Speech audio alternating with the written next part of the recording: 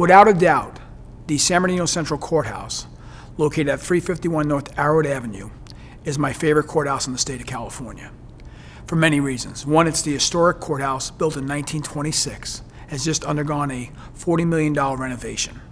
My office is located exactly one block from the courthouse entrance, so it's easy for me to get there. I consider that home field. I know every DA at that courthouse, every defense attorney, every bailiff, and every judge.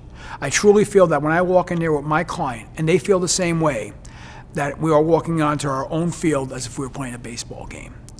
There's an air of congeniality and civility in the courthouse that often helps our client successfully resolve cases for either dismissals or for greatly reduced charges in which they'll enter a plea to. The courthouse is also an impacted courthouse. It's a very busy, extremely busy court facility. As such, by continuing matters often, you're able to have the district attorney have additional cases, and ultimately, because there's no possible way to try every case at the San Bernardino Central Courthouse.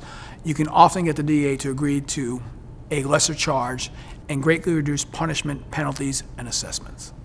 Great, great.